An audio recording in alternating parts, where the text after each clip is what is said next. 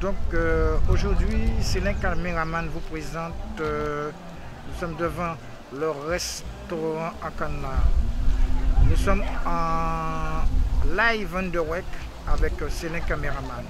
Aujourd'hui, nous sommes venus filmer euh, le collège Aurélie Lamboude pour un, voyage pédagogique en Italie. Donc oui, ces élèves organisent petite fête pour, avec les parents. Et euh, ce voyage pour l'Italie, euh, donc c'est le collège Aurélie Lambeau des Abîmes.